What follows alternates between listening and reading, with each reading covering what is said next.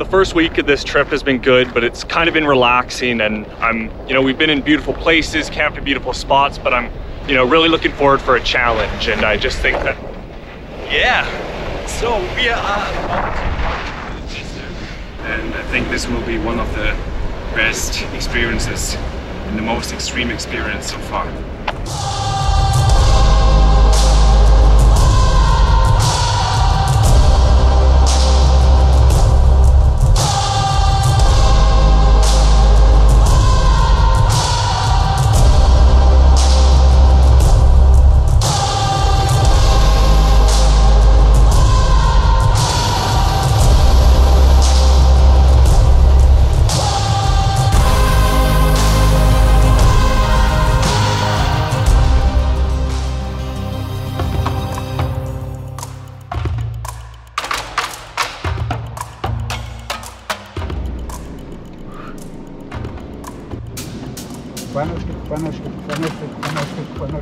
Oh no!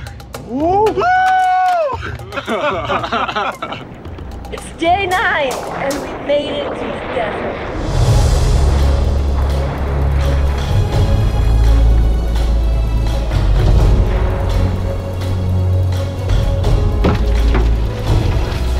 I to show you this. Ah!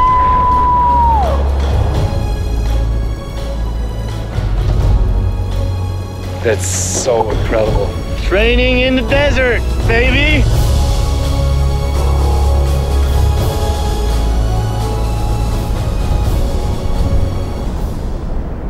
Okay, Tom. Sehr guter Einstand. Mhm. Oder? We've reached the desert. We are here for around 10 minutes. We had a rather thunderstorm. It's really crazy. Unbelievable.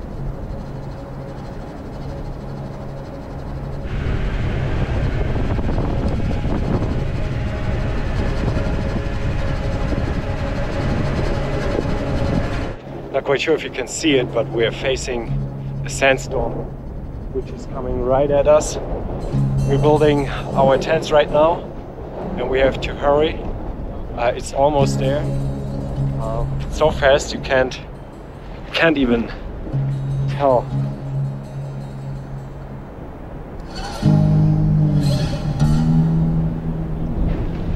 So Chris recommend me to put rock like this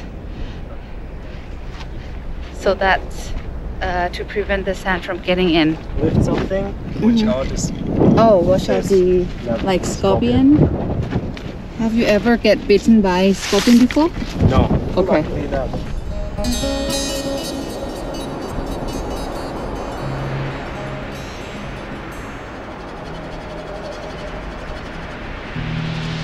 Hi everyone, uh, day nine. Right now, the most exciting moment is happening. What an experience! I can't even tell. It's so crazy. This is so crazy. So girls are responsible for dinner tonight. We're making some sort of pasta in absolutely crazy conditions. Like I still have a sand falling in my face through this tiny mesh. Absolute craziness. Look at this. It's so crazy. So I think the safest place is inside the car. Look how these tents are flying away. All right, the storm is kinda over. Everyone is on the top of the hill. Coming up! Oh boys! Our camp. It's pretty nice feeling here. Not a lot of people can say that they camped in the desert and survived a sandstorm.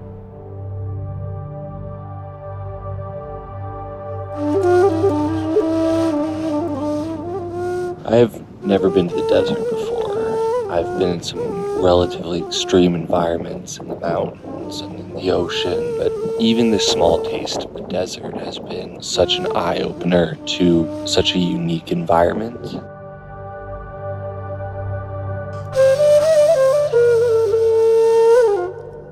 This is very special, and this is what I signed up for when I came on this trip.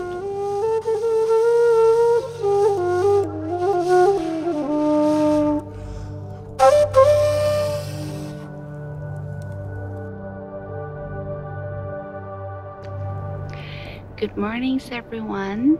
I celebrate my birthday morning up here, watching sunrise.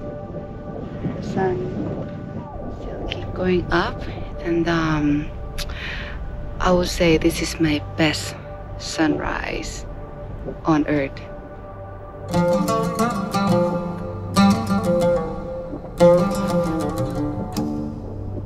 Watching the sunrise on a sand dune. Check.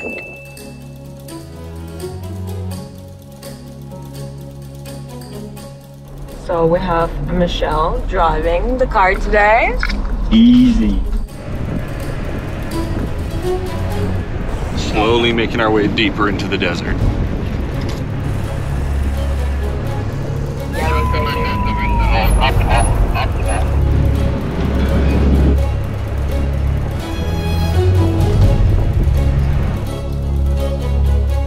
Okay, we are in Tamegroute. It means the last village before the desert, and we're about to visit a library, I think. Now we visit the library. Uh, there is about 4,000 books, all the hands write it. Uh-huh. And then we will say the shrine, the family of the library.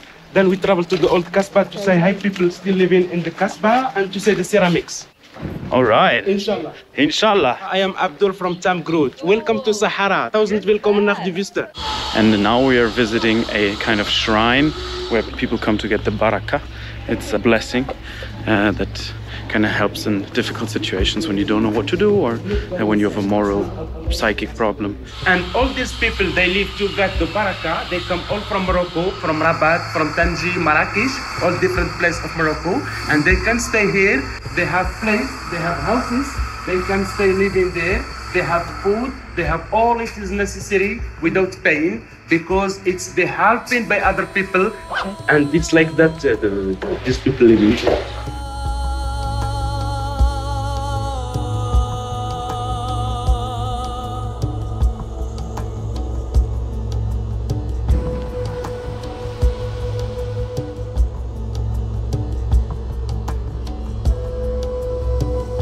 So in summer, when it's very hot outside, mm-hmm. because we have day for 50, 55 outside, Oh wow.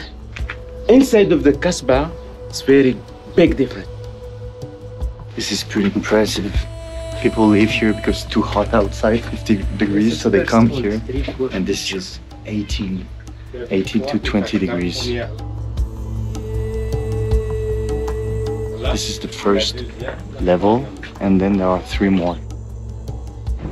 I was visiting uh, those uh, nomad people living in such harsh conditions, and I saw on their faces they have this uh, those symbols and this tattoo that I was really excited about, and I felt like really connected to to this like woman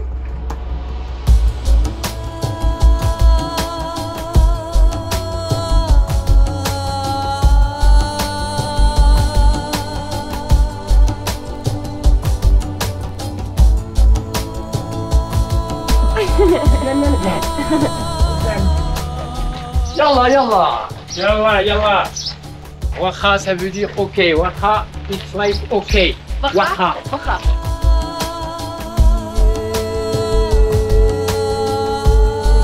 And now we're going to see this is uh, his job is doing ceramics, building jars, creating jars.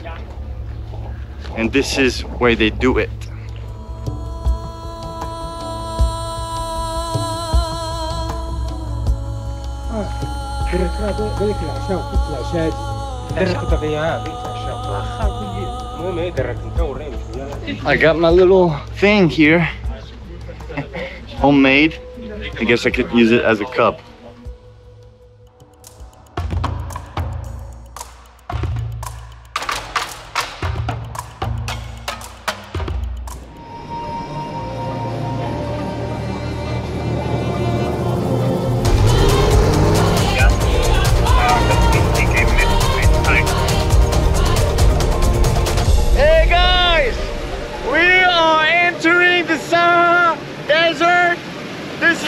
up and it's hot!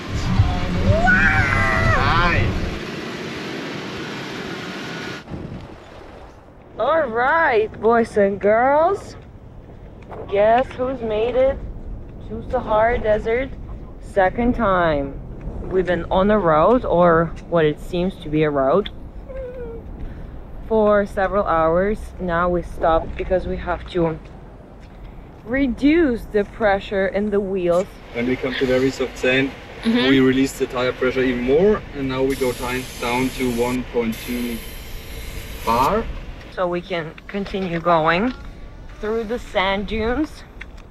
And yes, hopefully we're gonna find a spot for camping for tonight.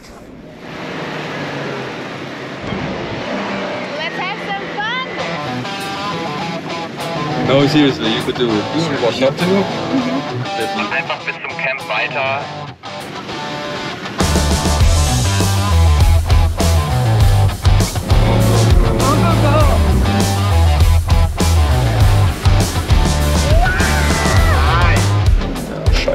Äh. And now we are stuck. We have to give the axle a bit of clearance again, and then I guess with some sandboards he will be good to go.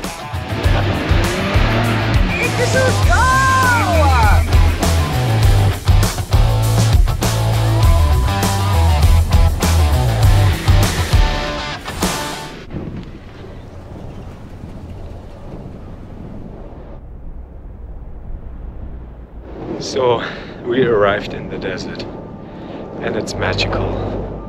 All these different shapes, all like looking like waves. Beautiful.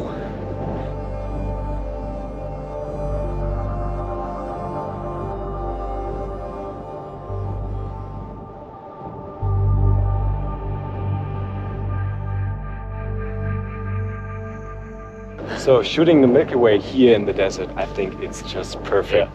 Perfect. we don't have any light pollution yeah. since all the big cities and villages are like far, far away. And also the scenery with the dunes is like just perfect. And this is the final shot.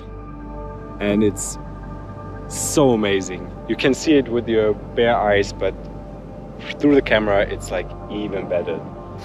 I'm um, sure you can't see the stars, but they're wonderful tonight. I hope I don't have to cuddle with any snakes or spiders, but it might be worth it.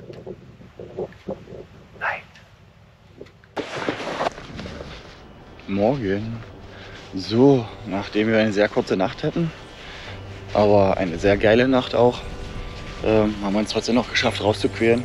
Beziehungsweise Theresa ist schon wach.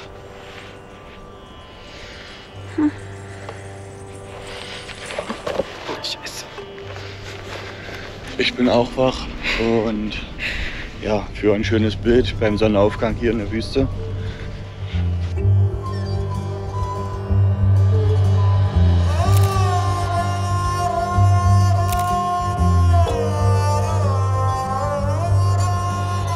All right, everyone.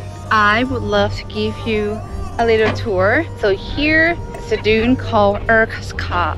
So here we have kitchen and we are making dinner right now.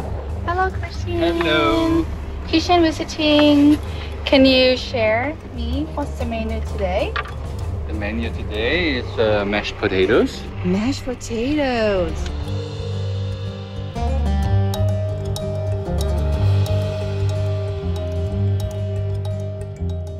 My bed. Put it outside because look like tonight the sky gonna be quite clear. So I might have a chance to see stargazing. So in this specific area of the desert, if the winds are coming from the west in the morning, typically that's going to mean you're going to have relatively good weather. It should be a good day for travel. If it's coming from the east, you have a higher chance of there being higher sandstorms and you shouldn't be traveling in sandstorms. Typically, if I'm in the outdoors in a situation that is less than just a little couple hour hike, I always have long sleeves, long pants, good boots, a head covering. Even at night in the desert, it can get quite cold and being able to keep that heat when you need it, but then also keep the sun off during the day is very important. Don't produce as much sweat. Sweat is water, and you need to then refill that water to keep sweating, to keep your body cool. See you back at camp. All right, so Sammy and me, um, and we're searching for a dune that is like not. You see, like our footprints are all over the dunes, so we're gonna find a new dune. oh, it's right. Das sind Wüstenspringmaus. Oh, okay, Ja? so it's like mouses for Und the desert. das ist man hier viele Spuren, Aha. aber das ist man hier Hauptstraße. So, and here we found really small little footprints, and Samia thinks that these are like the ones of a spider.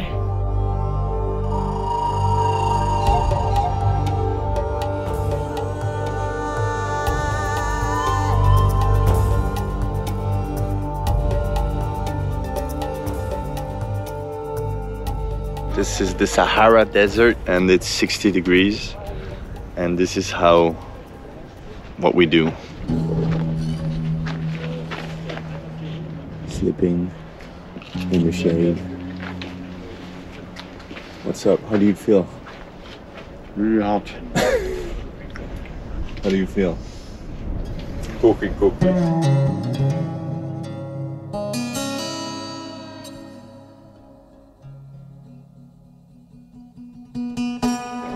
Spent the whole day in the desert and the sun was so freaking hot. That means one thing that this solar battery is fully charged. It's basically charging the big ass EcoFlow battery that's inside the car. We actually have four of these batteries. What are you doing?